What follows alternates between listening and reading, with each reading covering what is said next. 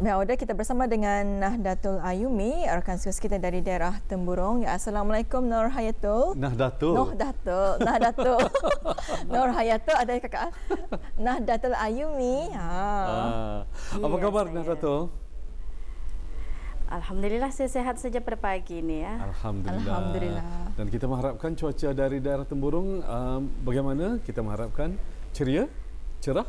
Alhamdulillah juga uh, cuaca begitu cerah sekali pada hari ini dan hmm. mudah-mudahan cuaca ini akan berterusan baik ya bagi uh, memudahkan lagi aktiviti-aktiviti yang akan dilakukan uh, di daerah ini insyaallah. Ah, dalam dua minggu yang lalu ya saya ada uh, menyatakan saya pertama kalinya menggunakan jambatan uh, yang menghubungkan daerah Brunei dan Muara hmm. ke daerah Temburong. Alhamdulillah saya pun uh, sempat uh, sampai ke sana. Uh, cuma uh, hmm. saya dimaklumkan bahawa gerai uh, daerah Temburong masih lagi ditutup pada waktu itu. Tapi uh, kita ingin mengetahui yeah. bagaimana pula uh, di keadaannya pada saat ini, uh, Narato. Sudah dibukakan atau bagaimana? Ya, uh, uh, gerai uh, daerah Temburong uh, ataupun tamu uh, Nikah Selera Pekan Bangar uh, hanya dibukakan saja setiap hari Isnin hingga Kamis dan juga Sabtu ya yang akan dibukakan uh, bermula pada pukul 8 pagi hingga 3 petang saja. Jadinya hari mm-hmm. Jumaat dan juga Ahad uh, ditutup. Oh, oh. itu baik baik. Mm, Baik untuk baik. seterusnya baik. Kami serahkan pada Nahdatul untuk berkongsi informasi dari daerah Temburong. Silakan. Baik, terima kasih rakan kita ya, Daud Iskandar dan juga Nur Intan di Bandar Sebegawan. Assalamualaikum warahmatullahi wabarakatuh. Salam sejahtera untuk penonton. Alhamdulillah kita dapat bersama lagi menerusi rampai pagi dari daerah Temburong pada pagi ini dan seperti biasa Audah dari daerah Temburong juga kita akan kongsikan mengenai maklumat semasa dan juga perkembangan terkini uh, dari daerah Temburong. Baik kita akan kongsikan belum sekali di sini uh, di mana pada hari Isnin ini 20 hari bulan April 2020 akan uh, diadakan pembekal akan berlangsungnya pembekalan makanan dan minuman bagi sekolah yang mempunyai program harapan dan anak harapan sewaktu sesi pembelajaran secara dalam talian dalam penggal persekolahan kedua uh, di mana bagi daerah Temburong dua uh, sekolah akan uh, menerima ya ataupun terkandung di dalam skim serapan pagi bagi pembekalan tenusu uh, iaitu bagi sekolah menengah Sultan Hasan daerah Temburong dan juga uh, sekolah rendah Puni ya bagi skim serapan tenusu uh, yang akan diadakan pada hari Isnin ini 20 hari bulan April 2020. Baik untuk seterusnya Auda kita akan kongsikan bersama uh, pendekatan rakan tugas kita Siti Zawati baru-baru ini yang telah pun membuat pendekatan uh, mengenai tanaman bunga. Untuk itu apa kata kita saksikan terlebih dahulu bahan yang dikongsikan ini.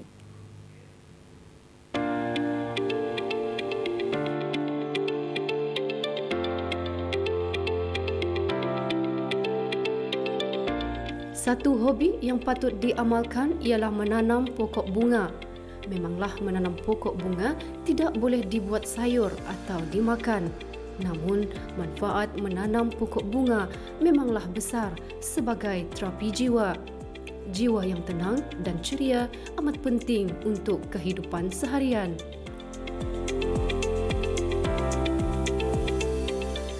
Saya dan kru Rampai Pagi berkesempatan membuat pendekatan bersama salah seorang suri rumah tangga yang begitu meminati tanaman bunga ini.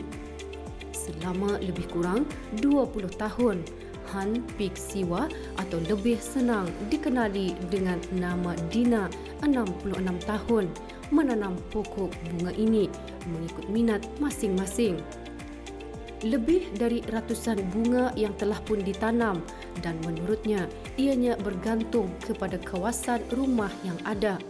Menurutnya lagi, jika tinggal di kawasan rumah tidak berhalaman, kenalah mencari jenis pokok yang tumbuh di dalam pasu dan tidak memerlukan sinaran matahari. Tidak pasti benar dalam dalam pasu ini semua kah? kali adalah berapa ratus lah itu saja. Jadi bunga-bunga yang kita tanam ini ada nama itu sendiri. Kadang-kadang ada yang ada nama, kadang yang belum ada yang belum tahu namanya. Selalunya bunga apa saja yang ada nama itu yang kita tahu? bunga kertas kah? Bunga kertas, uh, selendang sutra putih, selendang sutra papa, ekor musang, uh, ekor basing, apa lagi tu? Cherry, citra, catra. Ada pulang lagi banyak tu. Uh, cara menyamai tu macam ambil tanah dari bukit, uh, terus campur sama tanah masak. Tanah masak tu macam mana tu? Yang ditunurnya. Sudah tu campur tanah masak, semualah. Ah, kita masukkan dalam Dalam semayan, ah, dalam semayan atau Lepas tu kita masukkan. masukkan Jelas beliau lagi, namanya pokok bunga, namun tidak semestinya semua jenis berbunga. Ada pokok bunga sebenarnya hanya cantik pada daun-daun. Bagi beliau, yang penting dapat melihat satu pandangan yang cantik di halaman rumah. Kegembiraan menanam pokok bunga ada beberapa peringkat. Peringkat pertama tentulah kegembiraan apabila pokok yang ditanam tumbuh. Yang paling penting juga tanah yang akan digunakan untuk menanam pokok bunga.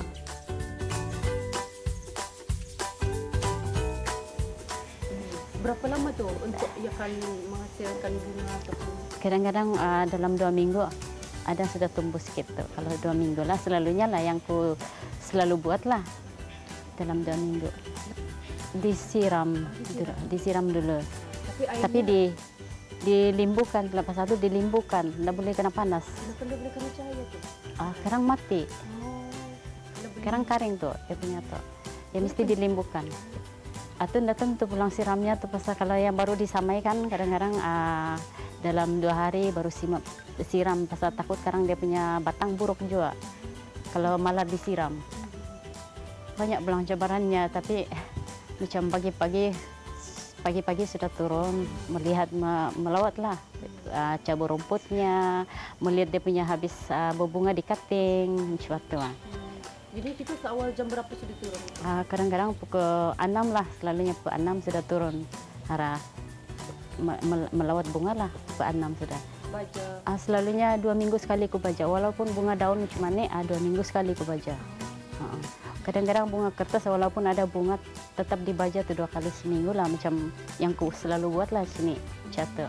Pasal kadang-kadang orang lain kan mana tahu yang sama kan, tapi kalau aku sini dua minggu sekali, walaupun ada bunga tetap ku baca dalam dua minggu sekali. Ah, kadang-kadang kalau ada orang datang melihat bunga kalau akan membeli aku jual juga. Lihatlah ah, dalam macam mana harganya pas suatu, ah, bunganya macam mana besarnya, damitnya, macam-macam lah dia punya harga. Um, dah kami beli dari bandar pulang tu bunga tu. Dari bandar kami beli, ah, belum ada akar, eh, belum ada apa tu, ah, belum ada tanah, akar saja macam itu, Pak. Terus kami bawa datang, kami samailah dalam samayan itu. Baria tumbuh dulu, kadang-kadang gugur dia punya daun dulu tu semua tu. Dia kena balik juga. Oh, kena balik juga. Beliau merasa gembira apabila melihat ada tanda-tanda bunga akan keluar. Sudah pasti perasaan tidak sabar untuk menunggu detik seterusnya.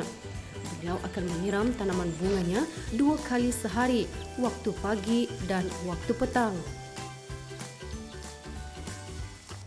Macam happy juga. Ah, happy. Ah, ah ya. Ya kadang-kadang kalau macam ah, pagi-pagi ataupun ki- tidak ada yang kan dibuat kan arah macam sudah kami buat dia punya cabut rumput kah apa kah tapi ah, macam da- sudah buat rumputnya apa kan tapi apa namanya nih ah, macam tidak akan dibuat kan melawat saja lah melawat-lawat ada juga tenang pikiran melihat bunga-bunga bah jalan-jalan melihat bunga oh kadang-kadang ada orang datang sendiri kemari pasal dia orang tahu sudah banyak yang tahu. Ah, ah. Yang dia. Ah, Ini untuk supaya indah panas. Pasal ini bunga daun tidak boleh kena panas. Terlalu panas kan pandai dia punya daun kering. Siram juga. Kalaupun hujan macam mana anda payah siram lah. Kalau hujan. Kalau macam kemarau mesti disiram. Mesti di sini. Oh kadang-kadang juga kalau sudah dilihat dia punya terlampau basah dia punya tanah apa tu nak payah disiram juga pasal mesti mau jaga juga dia punya apa tu kalau terlampau banyak air pandai buruk. dia punya batang-batang tu buruk tu. Kalau lebih aing. Kalaupun kering juga tidak juga baik.